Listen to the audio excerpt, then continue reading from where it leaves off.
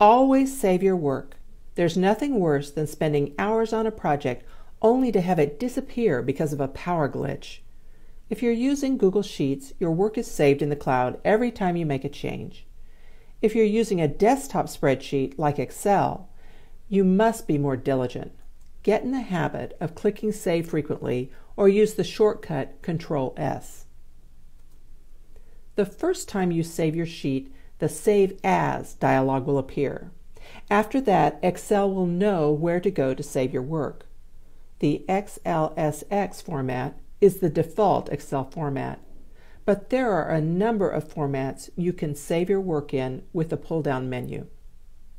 Google Sheets, Apple Numbers, and Apache OpenOffice can all open XLSX files, as well as the older Excel format, XLS. Now it's your turn to save your work.